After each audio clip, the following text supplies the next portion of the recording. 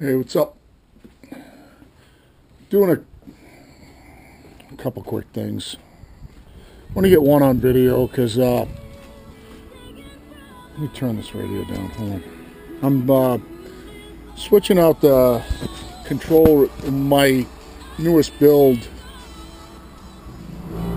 um, because I was doing some falling with it. I switched out the control rod and the trigger out of this saw because I didn't have one to a Stihl. I took the Stihl one out of this, the OEM trigger and control rod, put the Farmertec one in this saw, and uh, you had to order them and they came in. So I'm going to switch those out so you can have high idle. Um, and without them, you don't get high idle. Um, I've tried to shim them so it's full choke and it won't stay in high idle okay? This one has the Stihl trigger in it.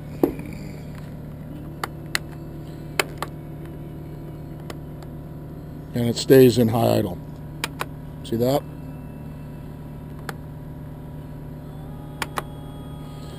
So I am going to uh, put the control rod and the trigger in this one which fixes that and this one the other day uh, I had a cust well customer I had a friend come by want to borrow a saw and this one's uh, this one was flooded. First time it's ever not started. Um, so I'm actually I'm going to rip this apart and show you how to unflood it. If you're getting that violent now this one doesn't have an ElastoStart on it because I just had to order two new ones today. Um, this one you can see the ElastoStart ripped out of this one and this one's repaired but I actually got the internals for this now too the to um, fix this cord. But so I'm going to show you how to unflood that one too if this video doesn't get long. So here's the uh, I'll show you the uh, Stihl part. So here's the control rod. They call it a switch shaft. That's the part number it's 112-182-0902. That's it right there. They're not super expensive. And here's the throttle trigger. Uh, it's 1122-180-1500. Just go down to your Stihl dealer and get them. Uh, I'm going to apologize for the kind of the view angle. I, I don't know this GoPro well enough to know how much it's going to show up here, so let's just hope it's good try to, if I have anything critical to show you, I will um, switch in there. So to do this, I'll let you know what you need for tools too.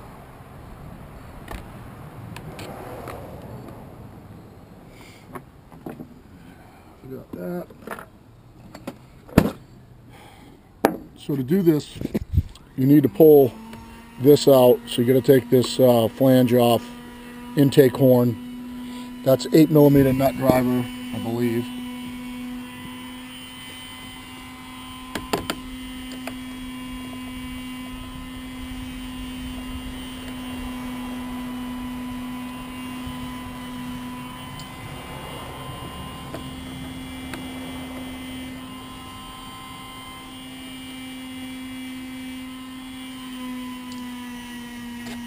Typically when I when I port and mod these saws, I take that this um, support gusset out and actually smooth and round all this. This is one that I had not done.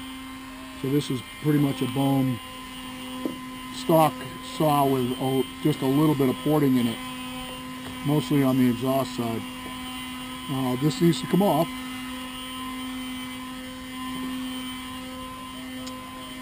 And then what you need to do is we need to pull this part up. Now I'm going to see, you can see the kill right here. So this is the kill connection.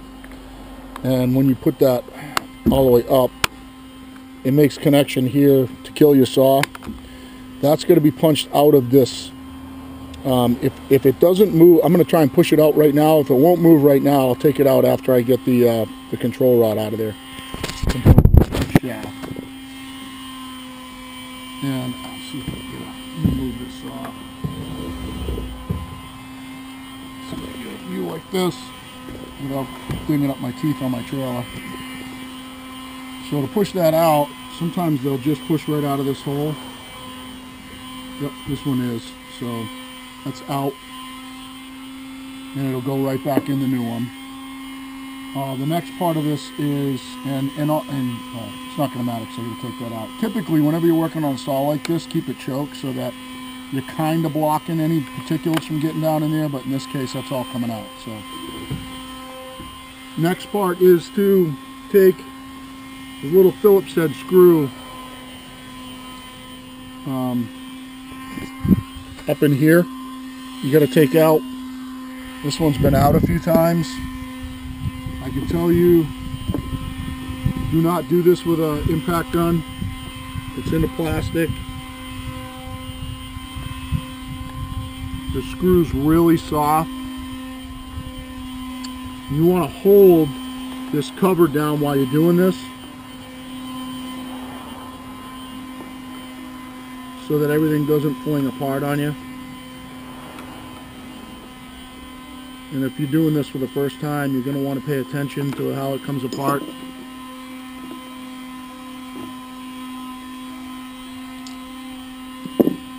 So hold on to that. The best thing that I can tell you to do right now, especially if you've never done this before, you want to take this off real kind of easily so nothing comes flinging out on you. You're going to disconnect the throttle from this. I would suggest that if you've never done this before, to take a picture of this with your phone so that you get this spring right, okay? Um, that's really the only the only important part here is that you get the spring set up right uh, so that your uh, operator control lever still works. So if you have to take a picture of it, but what you're going to do now is you're going to pick this operator control lever out. Let's get your trigger. Another good idea to have your part ready for you just because a lot of you haven't done this before and so you don't get lost. So you're going to take your trigger out right? And you want to take this spring off and put it right on your trigger the way it was.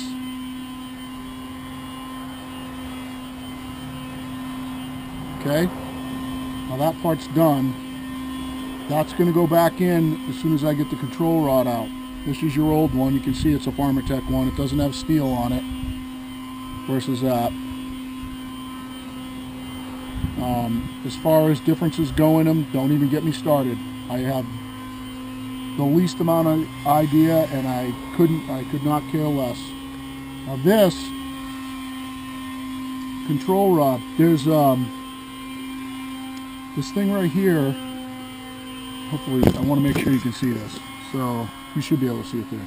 This thing right here fits down over the top of it and it slides into a groove. You kind of want to just pick this thing up. Sometimes it takes a um, a screwdriver to get it out, but let's just take this thing out. Put this thing right back there for now. Alright, so I'm trying to help you not get yourself screwed up.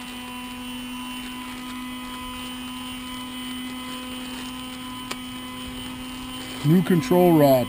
And again, it's not a bad idea just to go ahead and take a picture of it um, when you're doing this. The new control rod goes back underneath the kill. This little piece is going to come back out. Actually, that, that thing go under that? I don't think it does.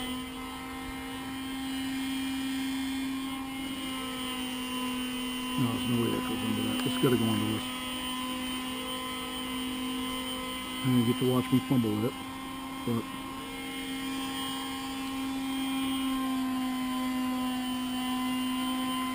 back in like that.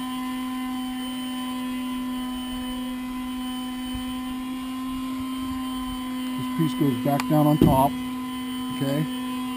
Don't even mess with it right now, all right? You're gonna make sure your kill goes back in.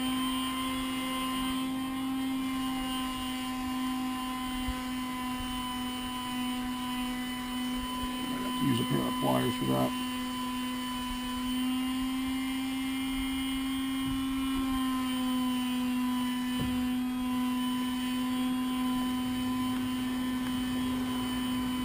I can tell you too that sometimes if this won't just push right in, I'll show you something in a second here.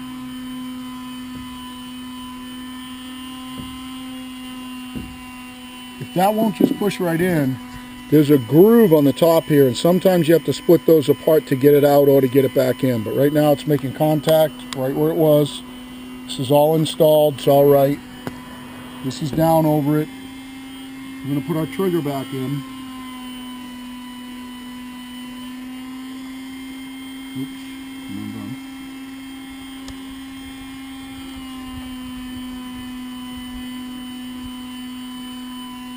And it's not a bad idea right now just to kind of hold tension on it with that, like that.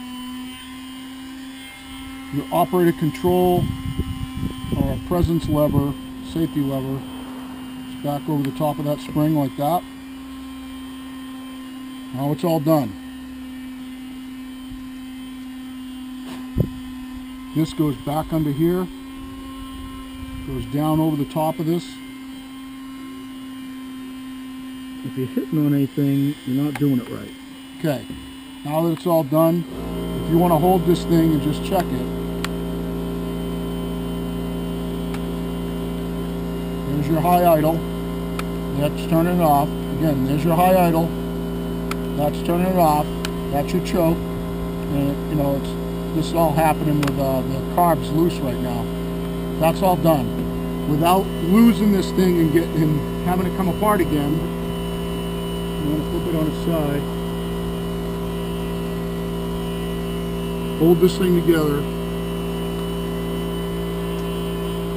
Kind of, again, ease this thing in with a Phillips head. Be really gentle with it. It's easy to strip this thing. Don't ask me how I know and it doesn't have to be super you know racked down tight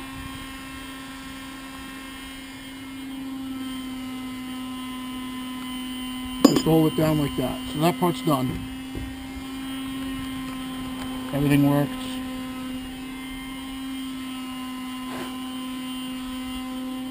we'll put this part back together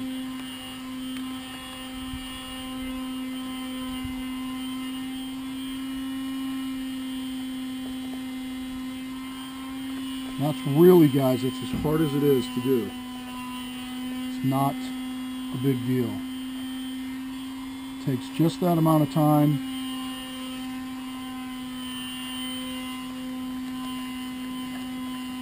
All I used there was a Phillips head, an 8 millimeter nut driver, and a pair of needle nose. That was it.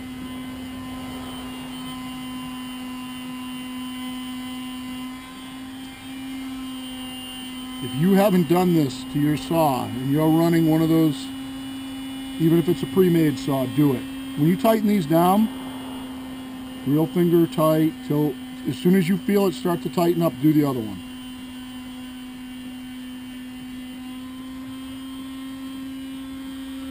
This is one of those uh, tights tight, two tights broken kind of deals. Sorry, fat fingers.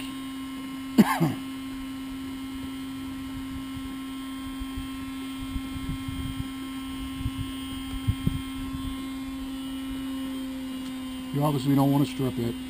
So it's just real, just finger tight. And it's starting to tighten up. Go tight, go tight, little bit, little bit, little more bit, little more bit. One hand on a nut driver. Alright, so that one's done. Now we got high idle. This saw still started fine without it. Just, it would take a few pulls after it popped. It wouldn't just go ahead and fire right up. It would take a few pulls. Still in my summer setting. I haven't taken it out of summer yet.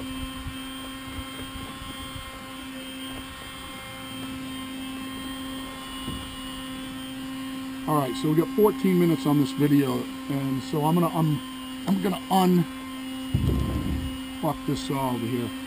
I'm gonna make sure it's not plugged show you how to unflood a saw. And what, what happens when they get flooded, and there's a lot of fluid in the crankcase down the bottom, not flooded from a starting standpoint, flooded from a pulling it standpoint, it'll rip the pull cord out of your hands. It'll pre-ignite because there's so much pressure in the crankcase that it'll rip the pull cord out of your hands and you won't be able to start it. It's not flooded. If you could pull it, you could start it. It would fire right up. This will pop right now if I choke it and pull on it. It will pop and fire off.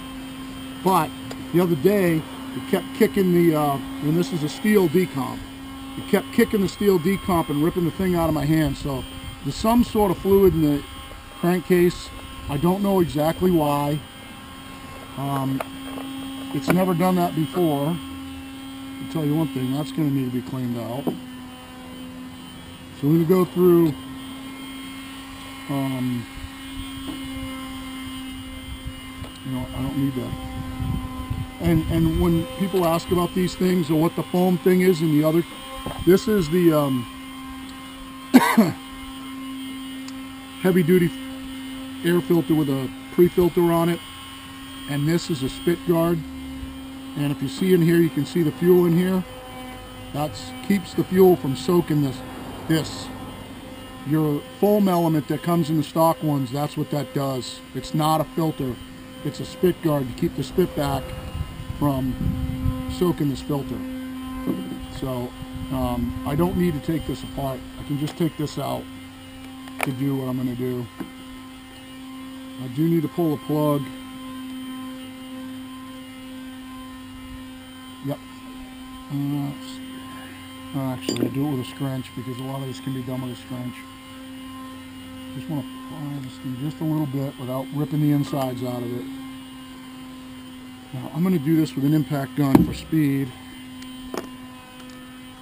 This is a T27 Irwin if you um, are buying T27 bits. I haven't broken this one yet, which is a good sign. I've broken a lot of other ones.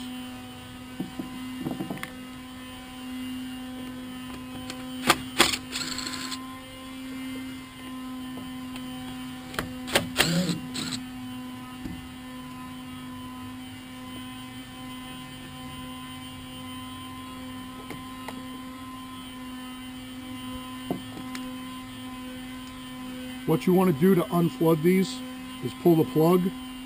This isn't, uh, or not, I'm using the wrong term. It's not flooded. It's got fluid in the crankcase. It's making it harder to pull it over. What you want to do to get them from, stop them from doing that. And if you look at this plug, you can see the um, brown on it it's, matter of fact, there's a good view. It's brown on this side and it's a little bit light on this side. This saw is pretty much running perfect. It's almost lean, which is what that will look like. But it's all brown on this side. So it's split half and half. Brown is perfect. So this saw is not running too rich. It's actually running a tad bit towards the lean side. What you want to do now to unflood your saw if you're having if your saw is flooded, you can't kick it over. Flip it upside down. You want to pull on the pull cord like this.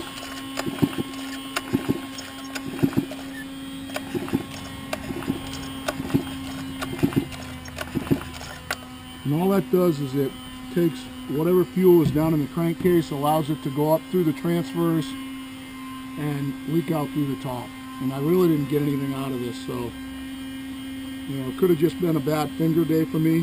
Maybe my fingers were a little weak. These saws are no joke to start. Um, I have, I don't know, 12 saws. And these are the only ones, these 660s that I build are the only ones I need to use decomp on. That's the way that you want to unflood a saw because you don't know where the fluid is.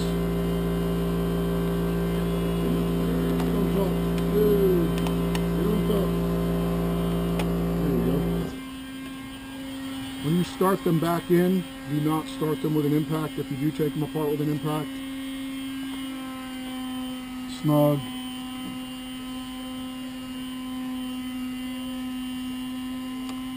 Yeah, buzzing in the background. My wife's sanding there.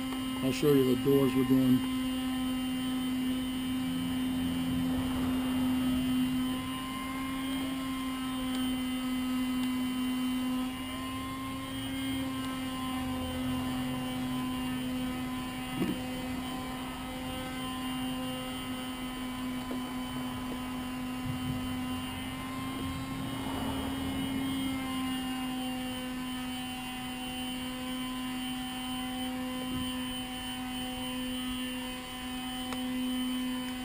Never impact these back in.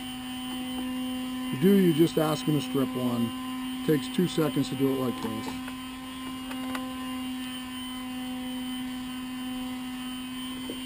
I'm just going to grab my air and blow this up. Actually, I'll just blow it off really quick because I'll see how it starts. Hold on one sec.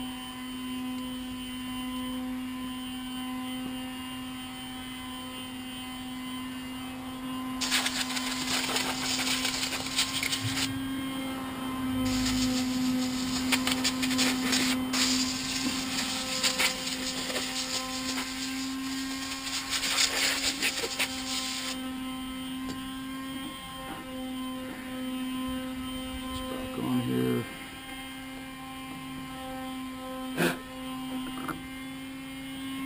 Make sure the seats, make sure you feel it ratchet in when you push on it. Like that. If it doesn't ratchet in, it's not on there good. If you take these apart this way, put this thing back in, if some of you haven't already given up on it, you gotta kind of pull the spark plug wire down to get this part of it above it. And then just seat it down. So you don't have to take everything apart to get it out. Oh, in my winter setting here. That back in summer setting since it's still warm. That's what those are. That summer setting on the top. That just keeps warm air from coming in from the top of the engine down inside. Winter settings in the bottom keeps cold air from coming up inside.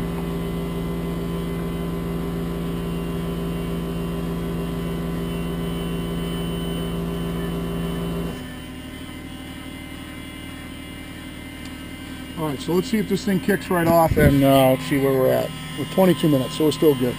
Let me show you what we're working on. We're making some sliding barn doors to match doors in a house. Kate's, uh, Kate's sanding them. This is the back side because his window's going in them. This is the front side right here. Um, with the uh, muttons and mu muttons and uh, mullions installed and routed to the profile that are on the existing doors in the house. And we had to just fill a couple of holes, so did a little epoxy fill here. But that's what the door is going to look like. Uh, got a cut piece of Lexan that's going to go in that groove right there. Um, there's already, this, this one's already been cut. This one's all ready to go. But she's doing some sanding, and we're just finishing them up for a customer. But let's see if this thing will fire right off. I'm going to put you, I'm going to move you away a little bit so you can see from a distance. Looks like it's got plenty of fuel in it.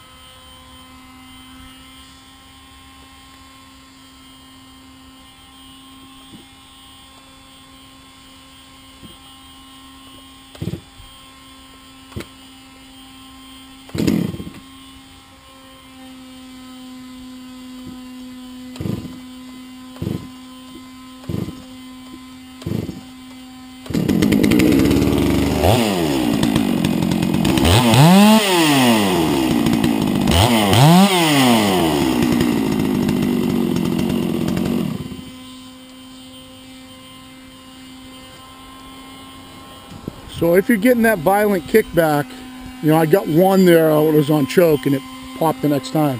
If you're getting that violent kickback, just do what I did to get the crankcase empty uh, and then right back in business. And like it, you know, when these saws are brand new, you have that problem a lot, especially if you use Caber rings like I do.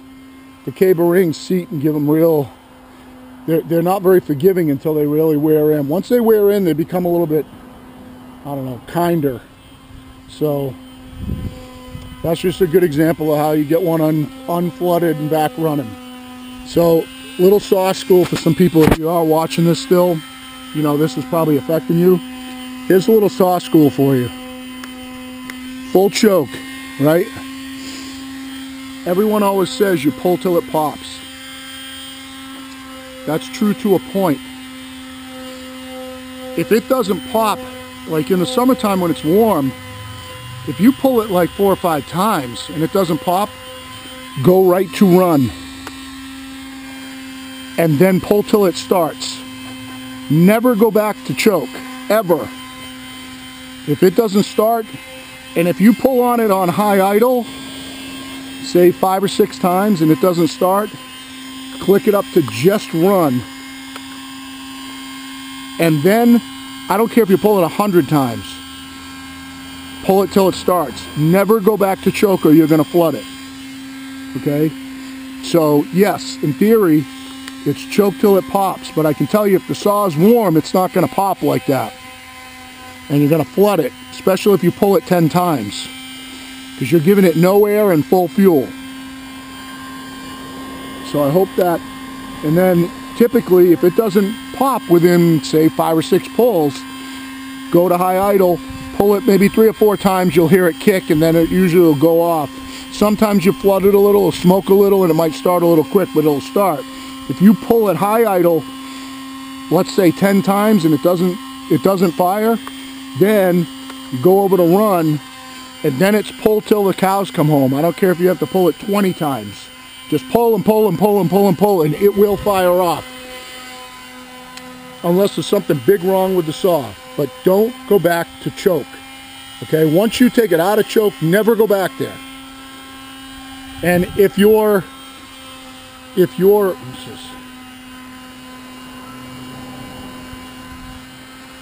if you're um, if it's hot out and the saw's been running and let's say it hasn't been running for 20 30 minutes it still should fire without choke always try it without choke first so just put it on run try it if it doesn't fire then go to choke it should pop on the first or second pull but that's only if the saw is warm I always try it when it's warm with try it on run first. Most of the time it'll fire first pull if your saw is put together and sealed upright. So um, that's what we're working on is Kate. And uh, she's got her new goggles on over her glasses. She just got those to fit over her glasses. And she's got her IsoPro um, ear things in so she's listening to music. But uh, yeah, so this saw right here is, um, you saw how much compression this saw had? This saw right here is my oldest one. That's the first one I ever built. That saw is almost five years old. And it still is a Banshee. It's still got tons of compression. That saw, I've kind of retired it from milling, which is why it's got the little 25 on it. And it's kind of become a firewood bucking saw now. Um, just, be, just because it was my oldest and it's treated me so good. That saw is milled. It lived its whole first four years just milling lumber. And it's still got that much compression, which you just saw me yanking on, starting it on the ground like that, standing on it. So, you know, uh, that's it. Hope that helps out. And um, hope you guys have a great day.